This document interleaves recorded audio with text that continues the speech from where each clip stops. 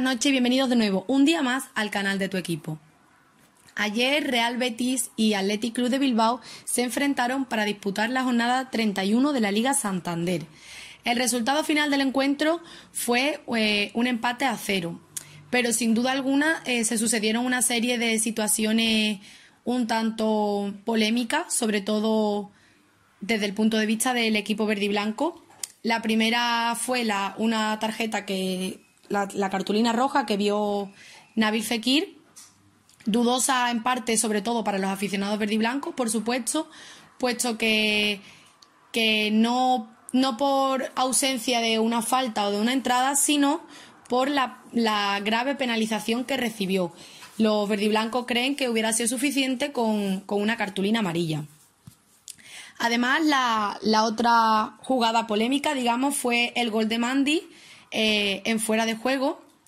Dudosa, ¿por qué? Pues porque nuevamente volvieron a surgir dudas con respecto a, cómo se tiran las líneas de fuera de juego y los verdiblancos consideran que la línea se tiró en función a una mano y no a un hombro. Y además, eh, el balón pasa, antes de tocar Mandy, pasa por un defensa del Athletic Club de Bilbao.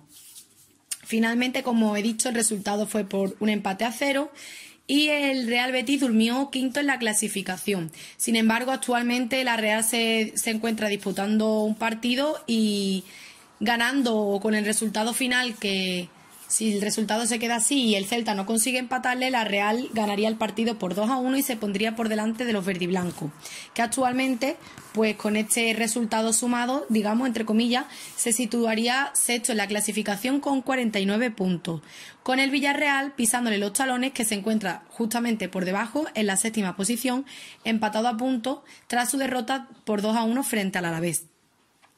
Y bueno, pues también destacar lo que, algo que también ilusionó a los verdiblancos y fue la vuelta de Borja Iglesias a la titularidad, que como ya sabemos, pues arrastraba una serie de molestias y no lo dejaron eh, ser titular en, en, los encuentros anteriores. Sin embargo, en esta ocasión fue, fue el delantero el que, el que fue elegido por, por Pellegrini para ser el titular.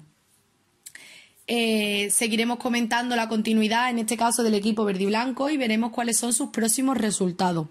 Muchas gracias por oírnos nuevamente y nos vemos de nuevo el próximo día en el canal de tu equipo.